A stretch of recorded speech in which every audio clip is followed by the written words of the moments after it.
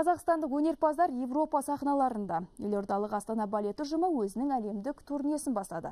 Бишілер Париж тұрғындарының назарына екі бөлімнен тұратын қойылым ұсынды. Бұл заманауи классикалық туындының ерекшелігі балет өнеріне компьютерлік графиканың әсері қосылуында. Әрістеріміздің Франциядағы гастрольдік сапары жайлы тілшіміз Мөлдір Доспаеваның материалында. Девочки, с минуты на минуту начнем.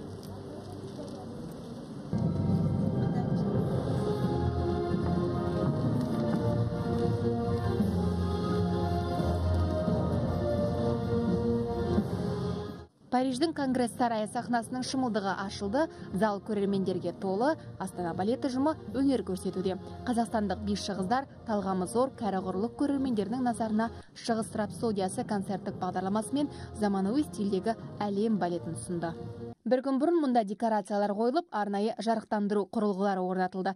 Ұжымның хореографы продюсері әрі арт директоры никита дмитриевский қойылымға қажетті техникалар мен жарықтың дұрыс қойылуын өзі қадағалады увлекаюсь светом и своими эффектами поэтому бала кезімнен жарықты түрлендіріп оның әсерін қадағалағанды жақсы көрем. сондықтан жұмысым мен үшін екінші әлем. Өзімнің жеке командам бар. Солардың көмегімен ғана ойымдағыны жүзеге асыра аламын. Жарық бейнебаян және графика астана балет ұжымының өнері осылардың көмегімен әсерлене түседі. Смятение всех их личных всяких чувств. Қыздарымыз бұл қойылымдарда барын салып билейді. Соңғы қатардың шетінде тұрған әртістің өзі қол аяғымен қоса өзінің ішкі жан дүниесімен билейді.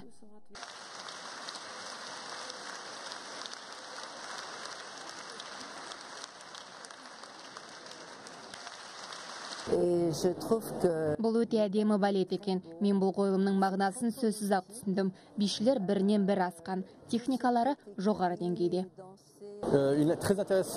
Өте әсерлі қойылым болды. Классикалық және заманауи балет өнері үйлесімді ұштасқан. Мен бүгін оңтүстік шығыс пен орталық азия халықтарының ұлттық нақыштарын байқадым.